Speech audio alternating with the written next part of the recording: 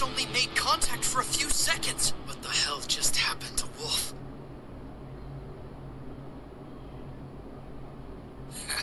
As you can see, your friend Wolf's soul is dead. It was essentially torn to shreds. What? I don't recall. It's possible a kid or two was caught in the crossfire when I was taking out a different enemy, but those are noble sacrifices who died to cleanse the world of evil. It hardly matters in the end. But that's insane! Who gave you the right to decide that? The only evil here is you! Sold your soul to the devil, yet you talk about cleansing the world of evil? That's complete hypocrisy! Stop putting yourself on a damn pedestal!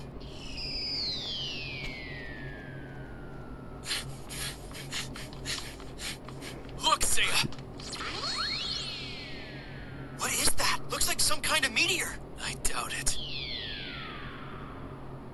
It went inside the temple.